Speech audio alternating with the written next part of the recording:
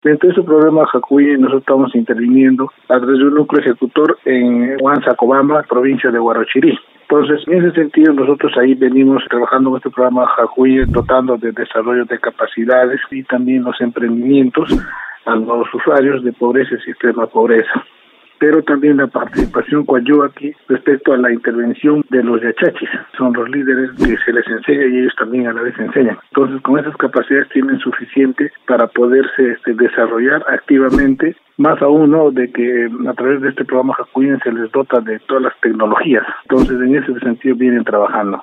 Aquí en Juanza son 400 usuarios, ¿no? El presupuesto en el proyecto es promedio de 2 millones de soles. Y bueno, ahora hemos visto porque quienes trabajan en estos proyectos es la población organizada, ¿no? Que son nuestros famosos ya conocidos núcleos ejecutores, los yachachis, los coordinadores y bueno, con las debidas supervisiones con los órganos de línea de FUNCODES del Ministerio de Desarrollo e Inclusión Social.